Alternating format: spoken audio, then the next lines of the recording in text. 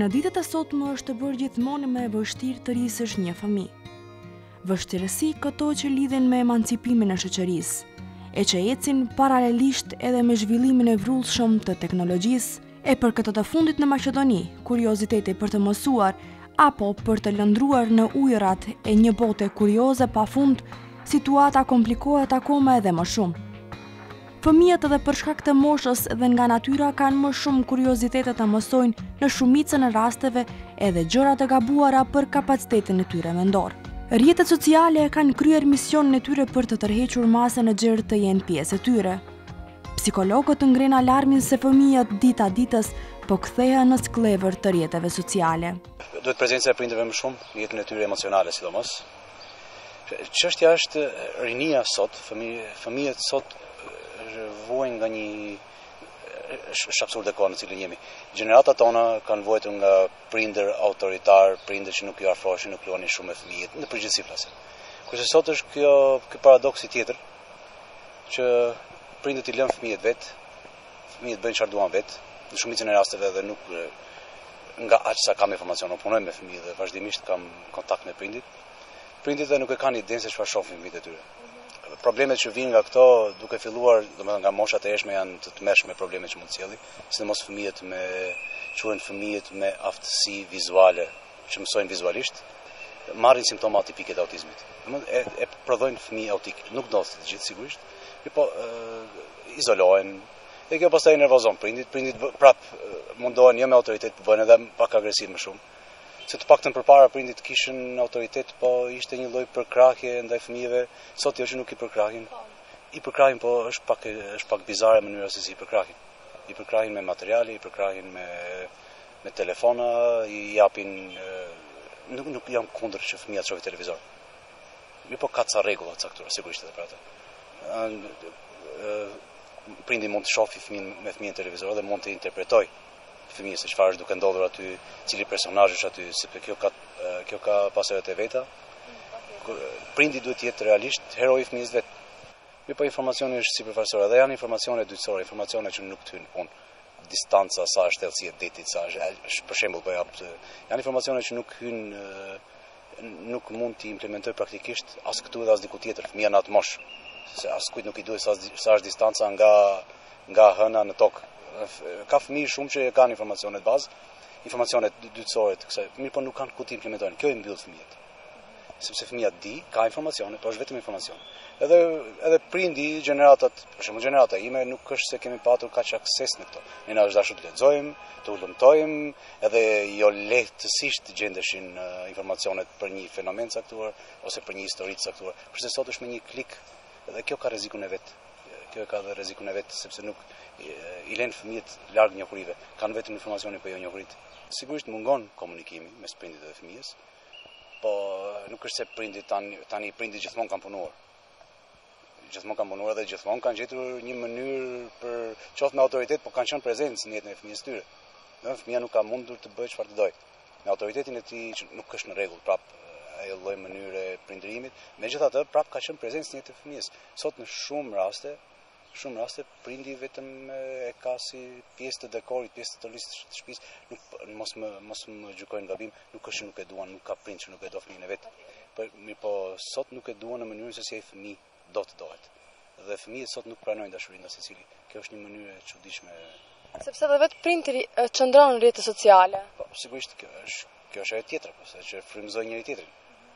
nëna në Facebook, babi në Facebook, ose nëna në serial, fëmija në një qosh, ndihet i lënë anësh, edhe nuk, që dashuria e fëmijës nuk është ta kapësh, ta përgdhelësh, ta puthësh, sigurisht ajo është pjesë, edhe pse nuk ka fëmijë që do të puthet, ka mënyra dashuria ka ka komplet është modalitet tjetër qasje ndaj fëmijës.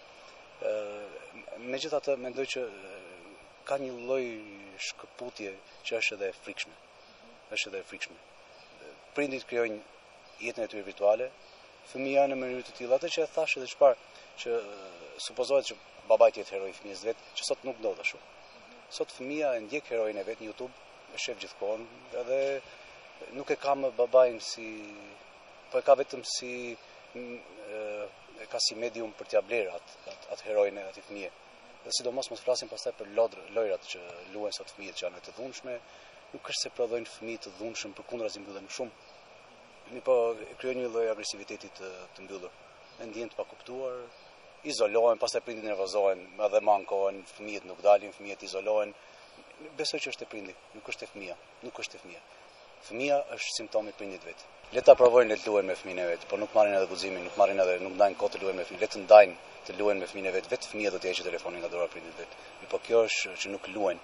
Sot ka lodra, por nuk ka lojra familjare, nuk ka lojra, nuk ka prind. Kur them një një një gjë e bukur në familje është të shohësh një film bashkë me fëmijët e tu, një film familjar, një film të animuar, çkado që ka, mirëpo ti je ai që i interpreton fëmijës tënd se çfarë po ndodh aty, sigurisht varet edhe nga mosha e fëmijës.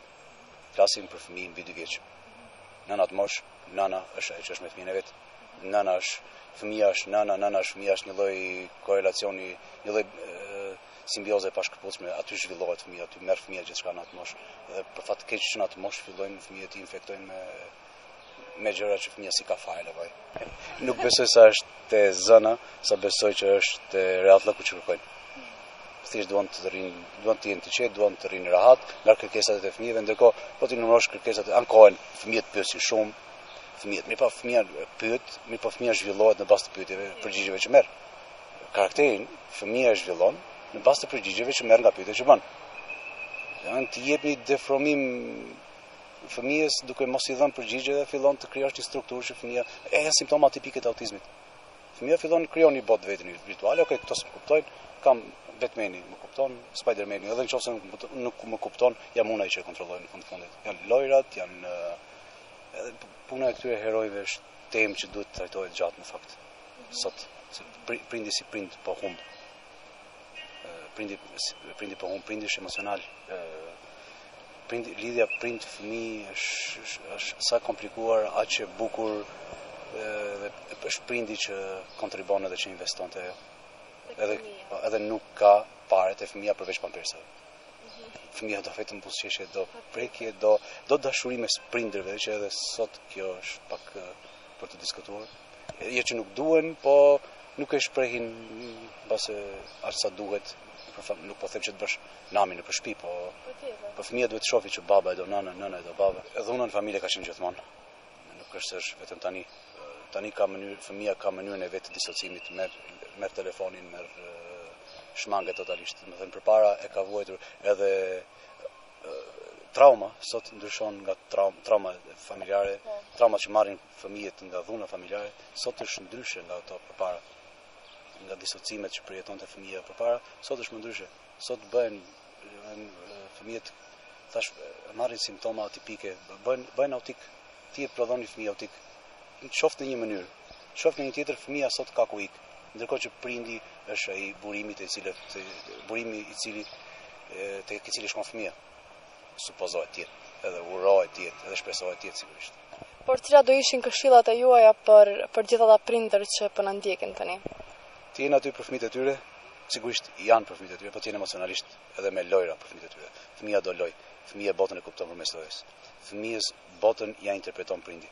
Le të luajnë me fëmijën e vet, mos t'i blejnë lodra nuk i duhet fëmijës një lodër njëqind euro se është është budallëk është edhe pastaj do të rrish te koka mos ja prek flokët mos ja prek rrotën se ke ble shtrenjtë kjo pastaj është muhabet muhabet në vete duhet le të jenë aty për fëmijët e tyre le të dalin me fëmijët e tyre le të shohin filma po të jenë me fëmijët e tyre mos t'i lënë vetë Se unë thashë edhe në fillim, unë punoj me fëmijë dhe është pikërisht kjo shkëputja, sidomos e nanës, nga fëmija që sjell sot probleme të komunikimit me fëmijët, deri te autizmi. Jo, jo autizm, po simptoma autike mërë. Një shprejhje thotë, fëmija është libër në të cilën lexojmë edhe në të cilën duhet shkruar. Nëse këtë libër do ta vendosim në një cep të bibliotekës, pa e kthyer kokën pas, Kur koha të kalojë edhe në një moment të na duhet ta shfletojmë atë libër, pluhuri i krijuar në atë do të na zërë sytë. Andaj, fëmija është i vetmi që përjeton botën në mënyrën më të vërtetë dhe si i tillë nuk duhet lënë në grackën e një bote virtuale të pakontrolluar.